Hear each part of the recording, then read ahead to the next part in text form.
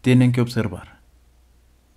Pongan atención en lugar de únicamente mirar, pues esto no es fábula alguna ni yo un narrador contándola. Esto es un testimonio entre muchos otros que se pierden entre ecos que son silenciados, para ser oídos por nadie e ignorados por todos.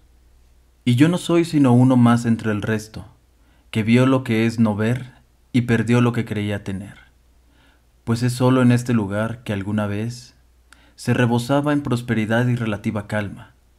Las historias hablan de un lugar que protegía a todos los necesitados, en la seguridad y calidez de múltiples aguas termales. Y en la tierra, más allá del agua, emergía un formidable ser, que con su imponente aguijón orgulloso se erguía.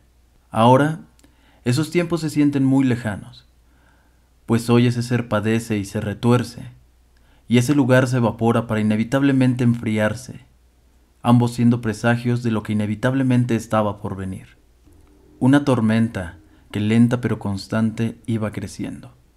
Los locales no lo sabían, o quizás decidían no considerarlo, preferían mirar hacia otro lado, negando las posibilidades que cada vez parecían más certezas y garantías. Así que escuchen y entiendan, no solo oigan, que aquella tormenta trajo consigo una neblina que no tardó en amenazar y, en gran proporción, abrumar pues aquellas almas desafortunadas fueron concebidas con la tan lamentable y pesada carga de la existencia. Para ellos, el simple hecho de estar en la luz es lo suficientemente difícil. No sienten que pertenecen bajo su claridad. Es entonces que algunos eligen seguir a la noche y adentrarse en lo desconocido, buscando desesperadamente el remedio definitivo para el eterno dolor. Y dichosos son aquellos que no han querido, no han amado y no han necesitado aquellos que la noche se ha llevado, porque la noche es oscura y no perdona a nadie. Cuando ni siquiera la luna ni las estrellas brillan, no se puede ver nada, sin importar a dónde mires, y aquellos que en ella deciden probar suerte se pierden para no volver, pues resultan inalcanzables para el resto. Quien entra, lo hace para no regresar.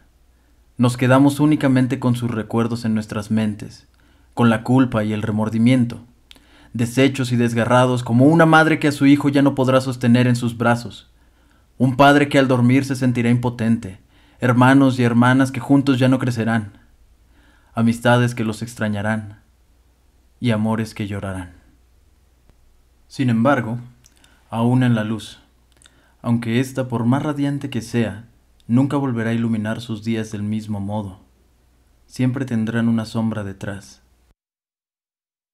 Por ello he decidido hablar de esto en tiempos de silencio, porque aquellos que se van al abismo no son escuchados nunca más.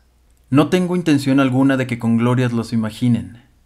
Ellos, aunque quizás más valientes que nosotros, no son héroes, y sus actos por nada deberíamos considerar grandes proezas ni hazañas, pues no son sino víctimas de todo y de todos, inclusive de sí mismos, de las cuales nos hemos olvidado. Por eso aquí y ahora es que protesto y proclamo que es necesario hacer un mayor esfuerzo por aquellos que se sienten que no pertenecen al alba y tienen que partir hacia el ocaso, para tenerlos con nosotros en la luz del día, todos los días, y así resurgir de la penumbra en la que nos vemos hoy envueltos, como uno mismo, todos juntos, teniendo el mismo valor, tanto aquellos que marchan por delante como aquellos que siguen el paso detrás, a su propio ritmo, pues no todos en este lugar decadente poseen la misma capacidad de escapar del abismo sin ayuda. Y lo que es peor, no son capaces de pedirla. Una vez más les pido que sientan y no solo piensen, para que comprendan lo que es aparentar la calma y sufrir caos y calamidad. En donde sea y cuando sea que exista luz, habrá oscuridad. Por más que se quiera desconocer, esa es la legítima realidad de este lugar, pues se los he de demostrar. Seré ese haz de luz en medio de la vasta oscuridad, pero también ese punto sombrío, justo en el centro del lienzo en blanco. Seré yo el último martirio, la gota que rompa el vaso, porque solo su contenido derramar ante el reflejo brillante del sol sería fácil de ignorar y aún más de olvidar.